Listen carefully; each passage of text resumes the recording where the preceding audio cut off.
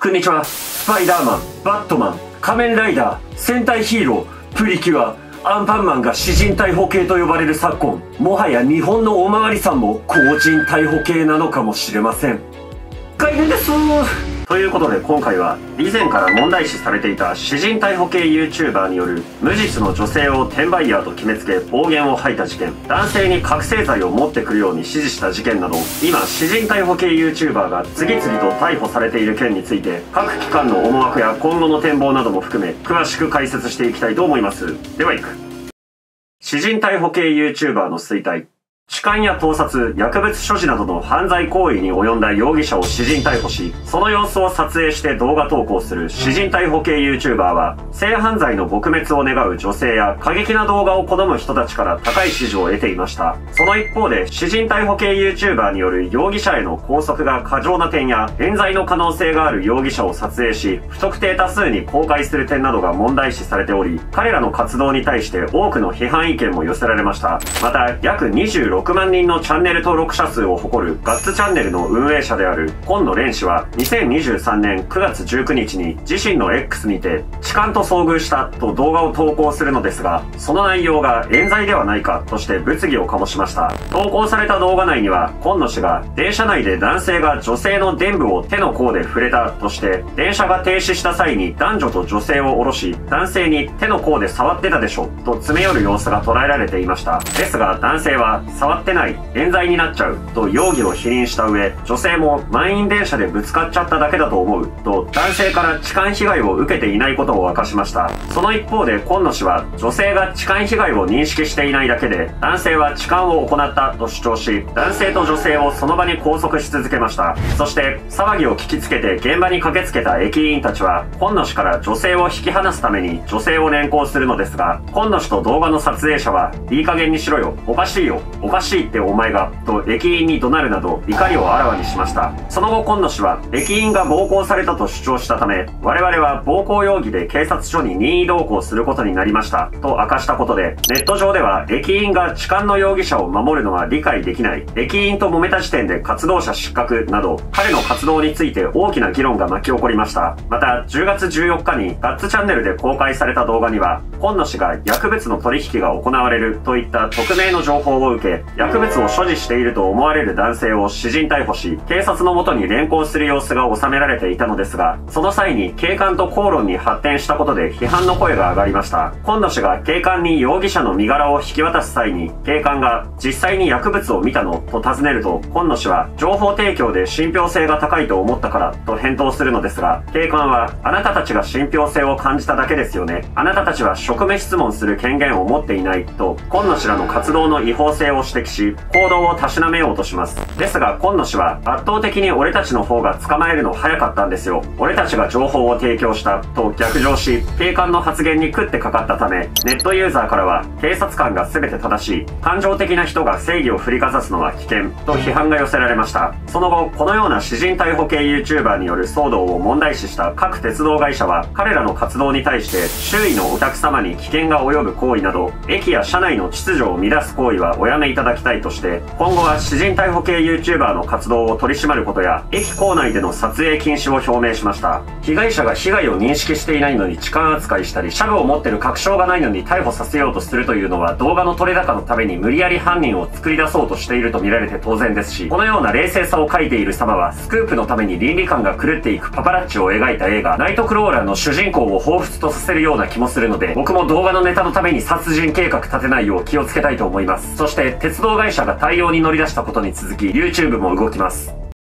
収益停止。詩人逮捕系 YouTuber の活動に賛否両論の議論が巻き起こる中、令和たけちゃんや煉獄コロアキなど人気の高い詩人逮捕系チャンネルが嫌がらせ、いじめ、脅迫を目的としたコンテンツを禁止とした YouTube ポリシーに対する度重なる違反、または重大な違反を理由に YouTube 運営からチャンネルを削除されました。両者のチャンネルは YouTube 運営によるガイドライン違反警告のない一発バンを受けたと考えられており、運営が詩人逮捕系 YouTuber の引き起こすトラブルを強く問題視視していたことが伺えます。さらに、11月上旬には、スーパードミネーターを運用する沢田祐氏は、我々のこれからの活動について、と題した動画を公開し、我々の活動は決して収益目的ではありません。少しでも犯罪被害が減ることを願って、犯罪の撲滅を第一に活動しています。と主張した上で、活動の継続を表明しました。また、建造の池田美希氏も X にて、建造引退で安堵している詐欺師を想像するとムカついてきました。最後なら最後でもがけるだけ活動を続続けたいと思います。と、活動を継続する旨を投稿しました。さらに、ガッツチャンネルの今野氏も同様に、収益停止や批判程度で犯罪撲滅活動をやめたくないとの意向を示した上で、今後の活動資金として11月17日からクラウドファウンディングを開始すると告げました。今野氏は動画内でクラウドファウンディングによって集まった資金は活動費のほか、自身と撮影者の生活費、痴漢等犯罪撲滅を目的とした政治団体の設立費用に充てると述べました。その後、YouTube 運営から収益が停止されても活動の続行を表明した者たちに対して、世論が何と言おうが応援しています。そもそも盗撮犯が悪いので、収益目的であっても活動自体が素晴らしい、といった称賛するコメントが寄せられました。また、今野氏がクラウドファウンディングサイト、ボイスにて、イベントページを作成して寄付金を募ると、2000人を超えるファンが出資し、開始から3日が経過した時点で約160万円が集まるなど、彼らの活動を応援する者も少なくありません。その一方で、今野氏の対応に対してネット上では、自費で行うべきでは、支援金の一部を生活費に充てるのが理解できないといった批判の声も上がりました。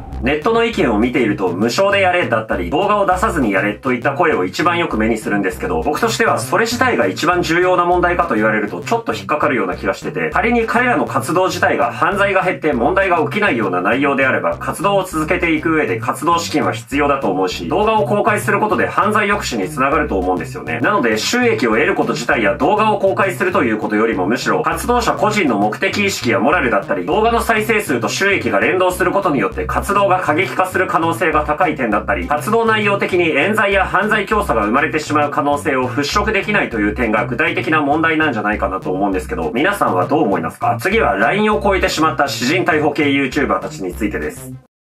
過激な動画投稿の末路。アカウントや広告収益を剥奪された詩人逮捕系 YouTuber の活動に注目が集まる中、11月13日に煉獄コロアキこと杉田和明氏が東京都の帝国劇場付近で18歳の女性に対し、チケットの不正転売をしていると詰め寄る動画を撮影し、YouTube に公開したことで名誉毀損の容疑で逮捕されました。また、杉田氏は動画内で女性に対して、お姉さんパパ活やってるでしょ？と誹謗中傷した上、権利を向けた女性がチケットの不正転売を行っているという事実はありませんでした。その後、女性が警視庁に5、6人の男性からチケットの不正転売やパパ活をしていると言われた。動画にはモザイクがかからず自分の容姿がしっかり映っていたと相談し、被害が発覚したため、警察は杉田氏の逮捕に動きました。また、2023年8月にガッツチャンネルの今野氏と撮影に協力した撮影者の男性は、ネット上の掲示板にて、キメセクを募集していた男に連絡を取り、女性を装って覚醒剤を持ってきてと依頼し、待ち合わせ場所に現れた男を警察に通報したことで、男は現行犯逮捕されるのですが、11月20日に今野氏とカメラマンも覚醒剤所持強査の容疑で逮捕されました。警察は今野氏らの行動によって男が横浜市で実際に覚醒剤を購入するに至ったとの見解を示しています。この今野氏の逮捕に関して専門家は、警察は詩人逮捕系 YouTuber の活動を数年前から問題視していた。そして今回今野氏らは自分たちの動画撮影のためにない事件をでっち上げたたことで警察は非常に悪質な犯罪だと判断したと主張しています。また、今野氏は今回引き起こした事件以外にも別の男性に対して突然覚醒剤を持っていると決めつけ、羽交い締めにして拘束し、警察に連行したことで批判を受けていました。そして後日その男性は覚醒剤を所持していなかったことが警察の調査で判明しており、誤って連行された男性は、今野氏から謝罪の言葉はない、憶測だけで羽交い締めにするのは間違っていると語った上で、正義という名前を盾にした犯罪行為にしか思えないですよね、と今野氏の行動を痛烈に批判しています。そして、詩人逮捕系 YouTuber の代表格ともいえる杉田氏と今野氏が逮捕されたことによって、ネット上では、自身逮捕系 YouTuber では、他の詩人逮捕系 YouTuber も時間の問題、などの非難が現在集中しています。まさに以前より世間から懸念されていたことが次々と起きてしまう結果となりました。警察がなかなか手が届かない痴漢などの犯罪が減ること自体はいいことではあるのですが、個人の活動になってしまうと統制を取ることができず問題が起きてくるので、結局警察任せにするべきという話になってきます。これだけ問題になってしまい、窮地にある詩人逮捕系 YouTuber というジャンルは今後どうなっていくのでしょうか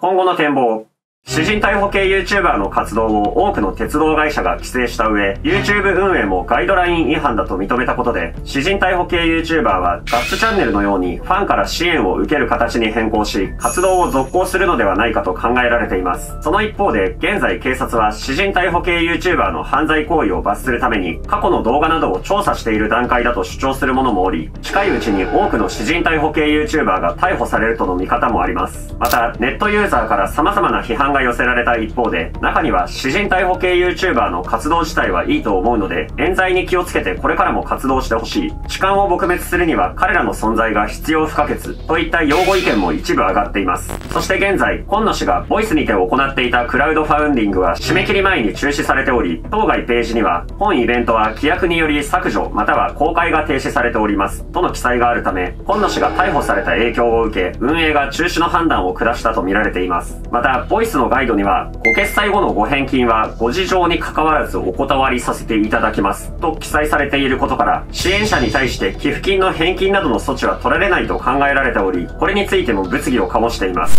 今後詩人逮捕系 YouTuber の活動は縮小すると予想されている一方で彼らの活動は痴漢をはじめとする犯罪行為への抑止力になっているとの見方もあり彼らの活動規模が小さくなることで被害者が増加することを恐れる声も上がっています。僕が最初に詩人逮捕系 YouTuber を知ったのはガッツチャンネルさんだったんですけど、最初に見た時はやり方を間違えれば冤罪になる可能性もあると思ったり、詩人逮捕をすること自体の問題点もあるとは思いつつも、本野さんが事前に痴漢被害者に対してカードを使って被害を確認したりしてたんですよね。で、僕はそもそも詩人逮捕系 YouTuber の異常性よりも前に痴漢が横行している今の日本の現状の方がだいぶ異常だと思ってたんで、実際に痴漢被害に遭っている人が救われたり、動画を出すことで痴漢の抑止になるのであれば、問題が起きないように活動してもらって痴漢被害者を少しでも減らしてほしいなと正直思ってた部分があったので、このような状況になってしまって少し残念な気持ちもあります。ですが、再生回数が上がれば上がるほどお金を稼げてしまう状況だと数字ばかり追ってしまっておかしくなってしまうというのは、キリンチャンネルの挨拶がいつの間にかわけのわからない領域まで行っているのを見ると十分理解できる気がします。やはり、詩人逮捕系 YouTuber というジャンルが壊れてしまうのは時間の問題だったのかもしれません。はい、ということで今回こんな感じだったんですけど、詩人逮捕系 YouTuber は撲滅されるべき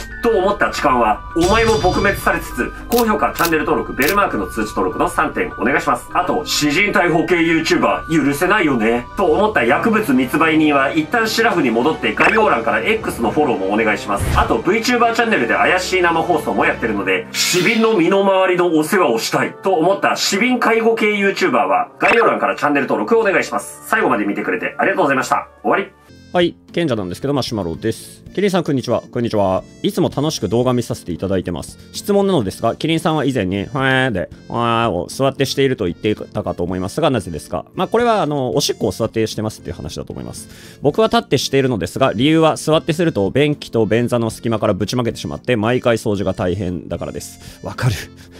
なので、座ってしている男の人がどうして座ってしているのか教えてほしいです。ということで、ありがとうございます。まあ、この理由が分かっていないということは、ははん、さては、童貞だな、あなた。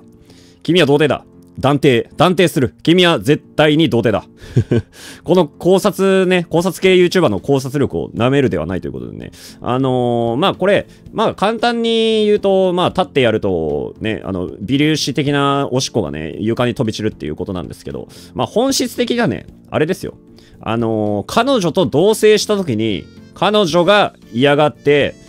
モテないからということですね。まあ簡単に言うと。はい。女の子に嫌われてしまうと。はい、それが一番の問題なんじゃないかなと思います。はい。で、まあやっぱりやるみな教としてはですね、やっぱり童貞信者たちの皆さんに、えー、指導を行ってますので、あの、恋愛というものはいつ突発的に何が起こるかわからないということで、もし、えー、今日ね、今日いきなり同棲が始まってしまうかもしれない。で、その時に何の、何の準備も想定もできてなかったら、そこでね、まあこの方もね、やっぱりトイレを立ってやってしまって、その同棲失敗っていう未来が見えますね。はい。なので、もうすべて定のことをね、想定する。えー、経験がないながらもね、あのー、全て準備しておくっていうのが、えー、モテの秘訣なんじゃないかなと思います。はい。ちなみに僕も同棲したことないので、まあ、妄想ではあるんですけれども、はい。ということでね、えー、キリンチャンネルは、童貞を応援しています。バイバイ。